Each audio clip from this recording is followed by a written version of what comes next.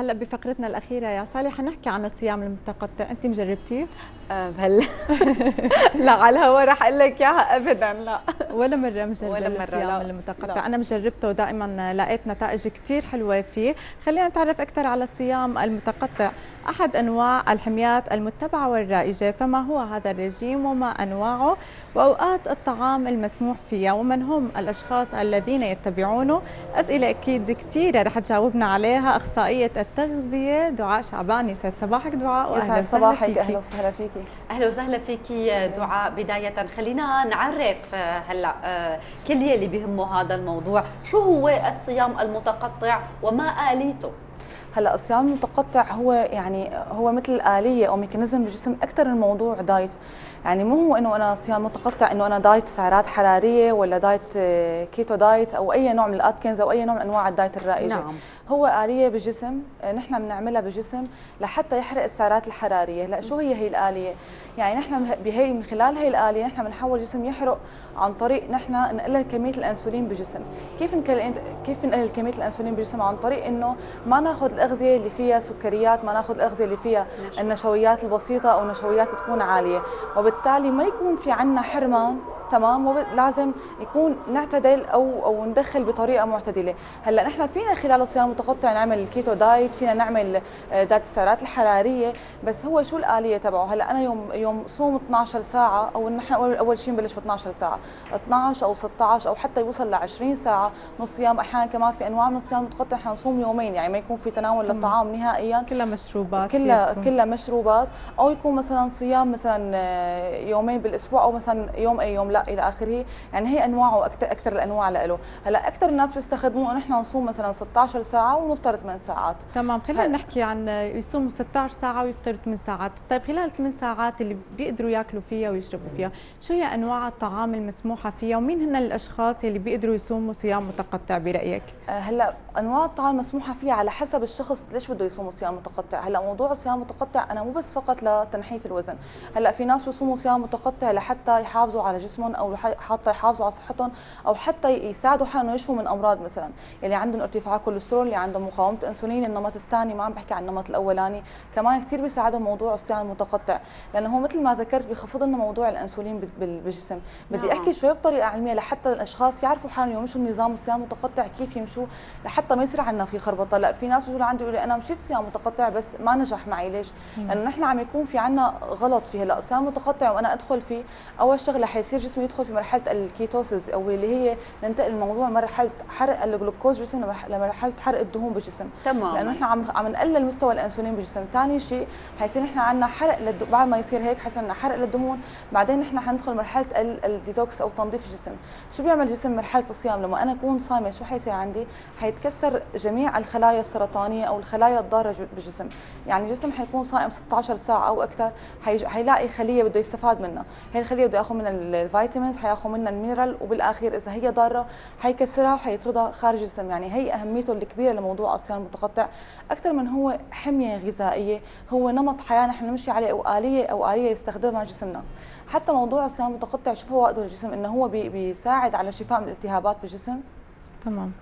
في عنا في عنا حمض بي- بينتج خلال الصيام المتقطع هو بي- بيستخدم بالأدوية الطبية ويستخدم كمكمل آه، غذائي اسمه نعم. beta hydrox آه، hydroxybutyrate هذا مهم جدا لحتى يخفف لنا موضوع الالتهابات مشان هيك هو بيزود المناعة من أحد الوظائف تبعاته بتلاقي مهم لموضوع المناعة لمرضى اللي عندهم روماتيزم اللي عندهم نقص مناعة نعم. حتى الأمراض السرطانية هلأ ولكن ضمن إشراف طبيب وإشراف أخصائي التغذية يعني ما فيني أروح إذا أنا مريض سرطان أو صحيح. مريض سكري نمط أول آه، حصرا روح أنا أمشي بهذا ال diet لحالي. لا لازم أروح تحت إشراف الطبيب المختص وتحت إشراف آه، أخصائي تغذية صحيح. لحتى ينظم لي أو لحتى أنا أقدر أتبعه وأمشي عليه.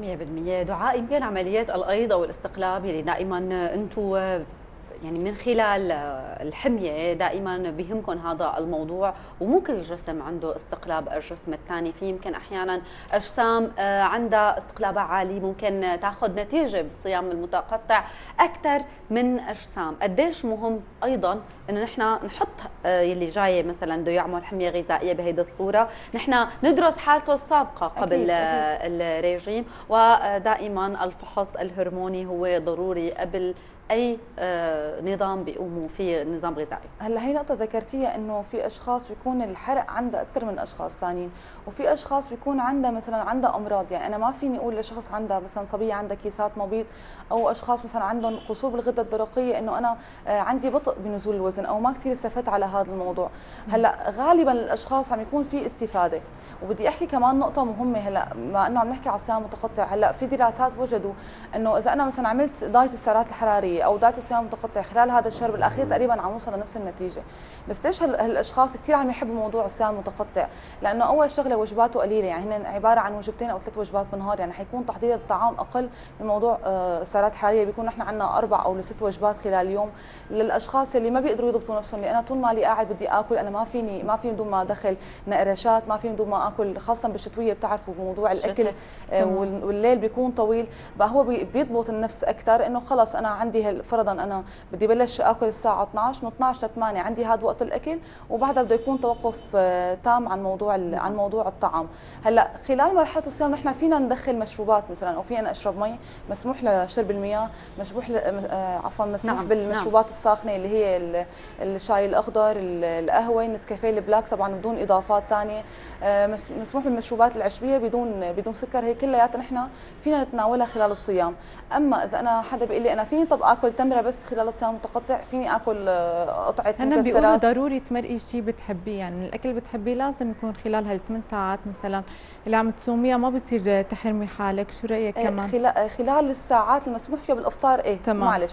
أما خلال الصيام لا ابدا لأنه نحن خربنا كل عملية الصيام المتقطع اللي هي نتيجة وصولها إلى تخفيف الإنسولين بالجسم وبالتالي الدخول مرحلة الكيتوزيس اللي هي حرق الدهون. متى ما أنا أخذت أي أكلة فيها تمرة إن شاء الله قطعة تمرة ولا ولا قطعة جوز ولا أي مكسرات ولا أي قطعة أو لقمة صغيرة خلص نحن خربنا هي الميكانيزم. مشان هيك هو شو شو الأهمية تبعه؟ مو مثل موضوع سعرات حراريه أنا اليوم أكلت شوي أكلت زايد فيني أضبط ثاني يوم أو ضبط موضوع الأكل تبعي. لا هون لازم يكون في التزام أكثر موضوع خلال مرحلة الصيام ما لازم ناكل نهائيا بس المشروبات اللي ذكرتها. ووقت مرحلة الإفطار لازم نحن دائما نبلش بشغلات خفيفة. يعني إذا بلشنا الساعة 12 فينا نبلش بوجبة الفطور الفطور الاعتيادي اللي هي عبارة حسب حسب كمان ساعات حالنا عم بذكر هي مو يعني مو كل الأشخاص يعتمدوها تمام. بس عم بحكي بشكل عام أنا. يعني فينا ناكل مثلا خبز أسمر مع بيض مع قطعة خضار وتفاح. رد فينا بعدين بعد شي ساعتين ناخذ أو ثلاث ساعات ناخذ كاسة حليب وبعدين الساعة مثلا سبعة ونص أو 8 ناخذ ناخذ الغداء على حسب قديش أخصائي التغذية عم يدرس لنا السعرات الحرارية تبعاتنا. صح. يعني كمان خلينا نحكي عن الأغذية اللي بتتمتع بالدسم العالية. آه، هل من المسموح يوم مثلا بعد خلينا نقول صيام متقطع دام لمدة شهر حسب ما أنت بتحدديه وحسب الشخص اللي أنت بتلاقي له يا مناسب؟ فيه يعمل يوم خلينا نقول استقلاب لكل هذا الموضوع وياكل دسم ولا لا؟ كمان بكميات محدودة. قصدك يوم free أو كسر لثبات الوزن. آه. بيقدر بيقدر يعمل بس دائما هذا الموضوع يوم ال free بنقول للأشخاص إنه يعني هو مو يوم مفتوح يعني نحن ناكل كل شيء طعام. يعني انت إذا جاء على بالك أكلة اشتهيتيها آه، جاء على بالك مثلا آه، آه، حلو أو مثلا سناك إيه ممكن نحن ندخله. بس ولكن هو مو موضوع إنه أنا أرجع آكل مثل الأول. وعلى فكرة غالبا الأشخاص بيكونوا ماشيين على diet أو صيام متقطع حتصغر معدتهم وما رح يقدروا ما حيقدروا يطبقوا الصورة اللي هن ببالهم. أنا يوم الفري حاكل كل شيء حاكل كروسان وآكل شوكولا وآكل بس شيء الأشخاص اللي بيطبقوا هذا الشيء بالأيام بالساعات اللي بيقدروا ياكلوا فيها وياكلوا كل شيء. هذا يعني بيرجع لهم بشكل سلبي. ممكن أكيد يزيد وزنهم ويعني ترجع لهم بطريقة رجعنا مثل مثل رمضان. لما يقول الأشخاص أنا أنا صمت برمضان بس سمنت ليش؟ لأنه بس أنا برمضان وقت برمضان صمت وكمان عملت صيام المتقطع كمان. وأكلت يعني كنت وقت الفطور آكل شو ما بدي. أما المساء لا خلص يعني بصير على المشروبات. وإذا بدي حصرا خضرة يعني على السحور. هيك بس انحفظ تقريبا شي 6 كيلو بشهر رمضان المبارك. حتى إذا بدك هو آلية نحن بنقدر نسمن فيها. يعني تمام. هو آلية تنظيف الجسم آه، هو آلية لتزويد موضوع قتل الخلايا السرطانية. أنا فيني ألعب بالصيام متقطع مثل ما بدي. أنا فيني سمن فيني نحف في آه، فيني عالج أمراض خفض كوليسترول خفض مستوى سكر الدم. بقى حسب المريض أو الشخص اللي جاي لعندي شو بدي أشوف شو هدفك أنت. بدك تنحف وزنك بدك تعمل ديتوكس لجسمك آه، عندك سكر عندك كوليسترول عندك شحوم ثلاثية سبب الغذاء. حسب الهدف تبعك. بدك تسمن كمان أنا فيني سمن. لأنه خلال 8 ساعات حسب النظام الغذائي أنا بدي أحطه بها 8 ساعات. آه، فيني وصل الشخص الهدف اللي نحن حاطينه أو الهدف اللي لازم نوصل له تمام يمكن من خلال حديثك نوهتي إنه في بعض الأشخاص مثل اللي عندهم سكري اللي عندهم شغلات ثانية آه، ما كثير بتفضلي لهم الصيام المتقطع آه، سكري نمط أول نمط أول تمام. مين هن الأشخاص خلينا نقول يلي انت بتستبعديهم كلهم من الصيام المتقطع آه، سك... الأشخاص اللي عندهم سكري نمط نعم، أول نمط أول. المرضعات تماما. والحوامل.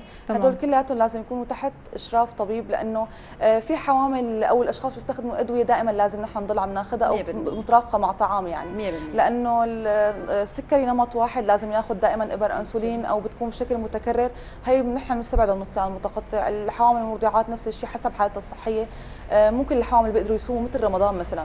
في حوامل ممكن يقدروا يعملوه إذا طبعا تحت إشراف طبيب أو ما عندهم حالات صحية. تمام. لذلك هدول الفئات لا- الثلاثة لازم حصرا تكون تحت إشراف الطبيب وأخصائي التغذية. ما نتبعه لحالنا أو من بالنا ومثل ما قلت. ما نعمل أغلاط بسيطة بالصيام المتقطع أنا أنا ممكن تنعكس سلبا علينا. أكيد خلينا بس 16 بال... ساعة وخلص بثمان ساعات بدي آكل بدي أكيد هذا الشيء غلط. آه، بس بالختام بدنا معلومة على الأشخاص اللي بيعملوا حمية غذائية اللي بيتبعوا نظام غذائي أو حتى عملوا صيام متقطع بس وزنهم ثابت ما عم بينحف. هذا شو السر يعني بهذا الموضوع؟ خلينا نحكي عليه ونختم معك. هلأ هون بدي أشوف شو الأخطاء اللي عم يتبعها الشخص. تمام. هلأ أحد الأخطاء إنه أنا آكل اللي بدي إياه خلال فترة الصيام المتقطع أحد ممكن لا الشخص ملتزم وماشي دايت وحمية وإلى آخره ينزل ممكن صبية يكون عندها كيسات على المبيض ما لم منتبهها أو بيكون نحن يكون عندنا قصور غدة درقية أو بيكون عندنا جسم تعود على هذا النمط أو جسم ما عنده نشاط زايد أو ممكن زود الحركة أو حتى أشخاص تلاقيهم كمان في عندهم حركة كثيره ومع وثبت وزنهم هي طبعا بعد المراحل الأخيرة وبس اذكر نقطة مهمة موضوع ثبات الوزن. نحن دائما لو نمشي دايت ما نعمل هدف كبير. أنا بدي أنزل 10 كيلو بهذا الشهر. الجسم حيصير عندنا مرحلة ثبات وهذا الشيء أصلا مستحيل وحيكون غلط. لأنه حينزل نحن غالبا عندنا دهون. وكتلة عضلية اللي. حتنزل منها. هذا هذا الشيء جدا غلط. لازم نمشي شوي شوي بالتدريج لحتى ما نوصل لمرحلة الثبات يلي عم تذكريها. وبدي أذكر شغلة في ناس بيخافوا موضوع صيام متقطع أنا أخسر الكتلة العضلية تبعي. تمام. إنه أنا صير ينحف تمام. أو أنا أصير يستخدم العضل تبعي من البروتين كطاقة. هذا الشيء غلط. لأنه إحنا خلال مرحلة الصيام حيفرز عنا هرمون النمو. اللي أغلب الرياضيين بنسمع بياخذوا أبر هرمون نمو لحتى يحافظوا على الكتلة العضلية تبعهم. نحن من خلال الصيام المتقطع بينفرز عنا هرمون نمو بنسبة 2000% زيادة. وبالتالي حنحافظ على الكتله العضلية تبعنا وفقط حيكون عنا تكسير للدهون ما رح. نخسر الكتله العضلية.